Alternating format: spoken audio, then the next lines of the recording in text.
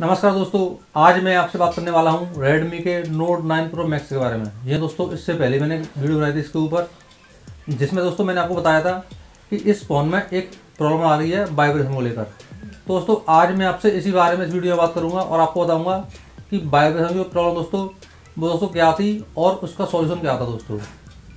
और साथ दोस्तों मैं आपको बताऊँगा कि अभी फ्लिपकार्ट पर सेल चल रही है, जिसमें आपको पोको का एक्स थ्री आपको सत्तर हज़ार रुपये देखने को मिल जाएगा।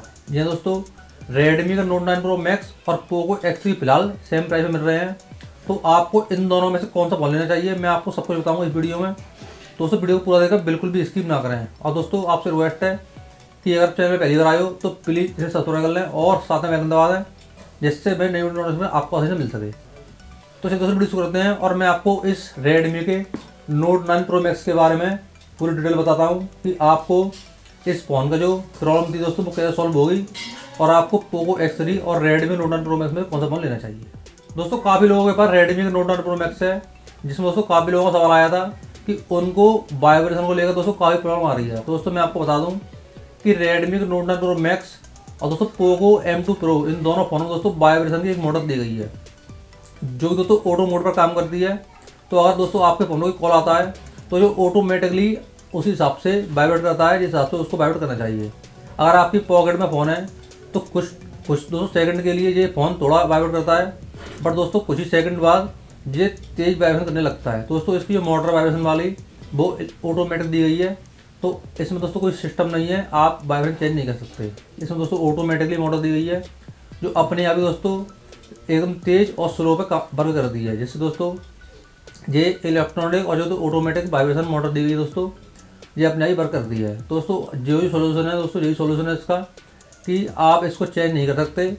जो ऑटोमेटिकली वर्क करती है। जिसके अंदर, दोस्तों, एक मॉडल दी गई है जो ऑटोमेटिकली वर्क करती है। अब, दोस्तों, मैं आपको बताऊँ कि Redmi Note nine Pro Max और पोको एक्स थ्री में से आपको कौन सा फ़ोन खरीदना चाहिए? तो दोस्तों, सबसे पहले मैं आपको इन दोनों फ़ोन की स्पेसिफिकेशन बताता हूँ। जिससे, दोस्तों, आपको एक अच्छा आइडिया मिल जाएगा कि आपको इन दोनों में से कौन सा फ़ोन लेना चाहिए। दोस्तों, सबसे पहले बात करते हैं प्राइस की। तो अभी दोस्तों प्राइस दोनों की सेम है, क्योंकि दोस्तों रेडमी नोट प्रो मैक्स आपको अमेन में मिल जाएगा, जिसका दोस्तों छः जी बी चौंसठ वाला वेरियंट आपको सत्तर हज़ार रुपये का देखने को मिल जाएगा। और अभी दोस्तों फ्लिपकार्ट सेल चल रही है, जिसमें आपको पोको एक्स थ्री सत्तर हज़ार रुपये का देखने को मिल जाएगा, जिसका छः जी बी चौंसठ वाला वेरियंट अब दोस्तों इन दोनों फ़ोन डिस्प्ले की बात करें तो इन दोनों ही फ़ोन में दोस्तों आपको सिक्स पॉइंट सेवन इंच की एक बड़ी डिस्प्ले दी गई है, जिसमें आपको सेल्फी कैमरा पंच के रूप में देखने को मिल जाता है। दोनों ही फोनों दोस्तों सेल्फी कैमरा आपको बत्तीस मेगा पिक्सल का देखने को मिलेगा। और दोस्तों, इसके रियर में, इन दोनों ही फ़ोन में जो मेन कैमरा है दोस्तों, वो सिक्सटी फोर मेगा पिक्सल का है। तो दोस्तों, इन दोनों ही फ़ोन में चार कैमरे सेटअप दिया गया है। और दोस्तों, इन दोनों फ़ोन की बैटरी की बात करें तो रेडमी के नोट नाइन प्रो मैक्स में आपको पाँच हज़ार बीस एम पाँच हज़ार बीस एम की बड़ी बैटरी देखने मिलती है। और वहीं दोस्तों पोको एक्स थ्री में आपको छः हज़ार एम की एक बड़ी बैटरी देखने मिलती है। तो दोस्तों बैटरी के मामले दोनों फ़ोन अच्छे हैं, थोड़ा सा फ़र्क है।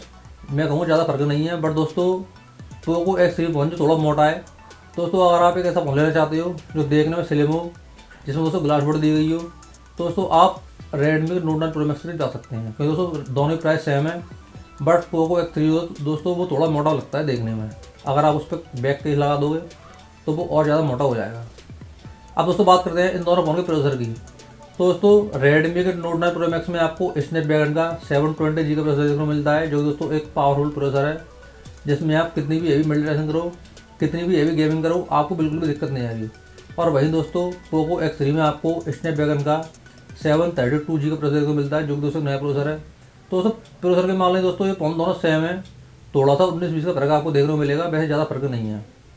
अब दोस्तों, बात करते हैं इन दोनों फ़ोन के प्रोसन कौन की। तो दोस्तों, अगर आप रेडमी नोट मैक्स लोगे तो ये फ़ोन देखने में दोस्तों काफ़ी अच्छा लगता है। और दोस्तों, इन दोनों फ़ोन में तैतीस वोट का फास्ट चार्ज साथ देखने को मिलता है, दोनों फ़ोन में, और दोनों फ़ोन दोस्तों फास्ट चार्ज को सपोर्ट करते हैं। तो दोस्तों, अगर आपको एक ऐसा फ़ोन चाहिए, देखने में काफ़ी अच्छा लगता हो गिलास बोर्ड दी गई हो, काफ़ी दोस्तों स्लिम लगे तो आप रेडमी के नोट नाइन प्रो मैक्स को ले सकते हो जिसकी प्राइस दोस्तों सत्तर हज़ार रुपये है। और दोस्तों, अगर आप पोको एक्स थ्री लोगे तो उसके बैग में आपको प्लास्टिक की बॉडी दी गई है, और वो देखने में काफ़ी मोटा लगता है। बट दोस्तों, अगर आपको पोको की ब्रांडिंग चाहिए, अगर आप पोको के फ़ोन ज़्यादा चलाते हो तो आप पोको एक्स थ्री ले सकते हो बट दोस्तों, अगर मेरी माने तो आप रेडमी और नोट नाइन प्रो मैक्स की तरफ़ जाएँ, जो कि दोस्तों एक ग्लास बॉडी साथ आता है और देखने में काफ़ी अच्छा लगता है। जिसका दोस्तों प्रोसेसर है, वो काफ़ी अच्छा है और दोस्तों रेडमी की ब्रांडिंग है। और दोस्तों, सबसे अच्छी बात कि ये पोको एक्स थ्री के मुकाबले में काफ़ी पतला है। तो दोस्तों, अगर आप सत्तर रुपये का फ़ोन देख रहे हो तो आप रेडमी के नोट प्रो मैक्स जा सकते हो।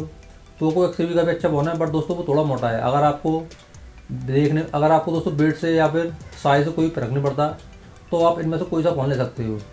इस स्पेस के मामले में दोस्तों पोको एक्स थ्री थोड़ा इससे बेटर है बट दोस्तों कैमरे के मामले में रेडमी का नोट नाइन प्रो मैक्स काफ़ी अच्छा फ़ोन है पोको एक्स थ्री से काफ़ी अच्छा कैमरा है Redmi Note nine Pro Max का। दोस्तों उम्मीद करता हूँ आपको वीडियो काफ़ी अच्छी लगी होगी, अगर अच्छी लगी हो तो इसे लाइक और शेयर ज़रूर करें, और अभी तक आपने सब्सक्राइब नहीं किया है तो इसे सब्सक्राइब करना बिल्कुल ना भूलें, क्योंकि मैं इस तरह की वीडियो आपके लिए हमेशा लेके आता रहता हूँ। तो उससे फिर मिलते हैं अगली वीडियो में, तब तक लीजिए जय हिंद, वंदे मातरम।